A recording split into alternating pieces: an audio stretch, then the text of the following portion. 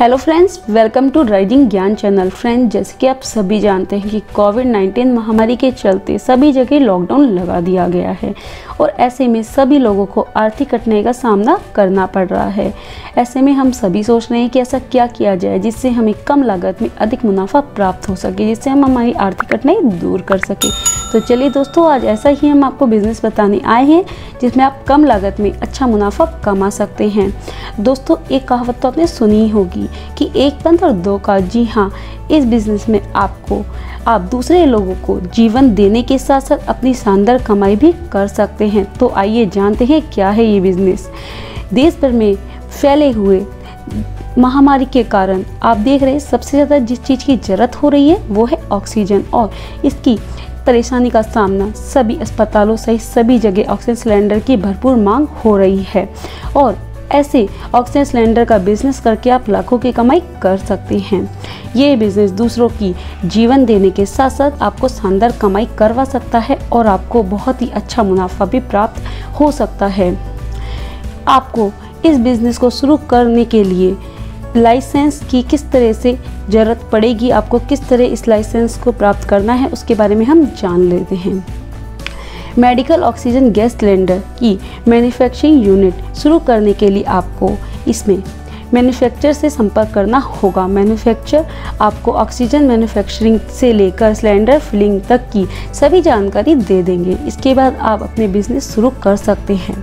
इस बिज़नेस को शुरू करने के लिए आपको फ्लो मेजरमेंट्स, ऑक्सीजन मास्क दवाओं गैजेट और कैनुलर की ज़रूरत होती है। इसके अलावा बिज़नेस स्टार्ट करने से पहले आपको यह भी तय करना होगा कि आप कैसे इस बिज़नेस को कहाँ सेटअप करेंगे? साथ ही इस बिज़नेस के मार्केटिंग के बारे में भी आपको जानकारी होना ज़रूरी है।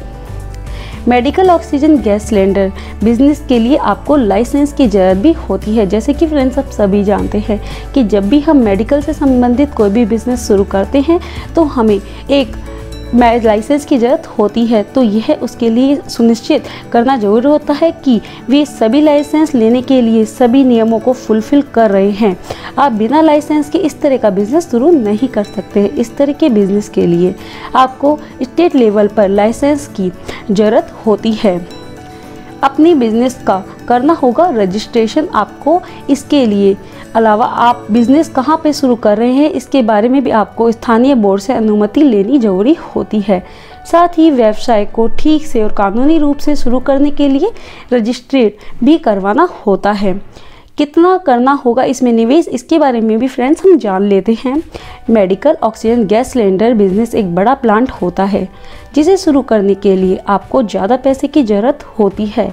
इस बिज़नेस के लिए आपको कम से कम 10 से 20 लाख की ज़रूरत होती है। पर फ्रेंड्स इतना यकीन मानिए कि आप इसमें बहुत ही अच्छा मुनाफा भी कमाते हैं और इसके लिए बैंक से आप लोन भी ले सकते हैं।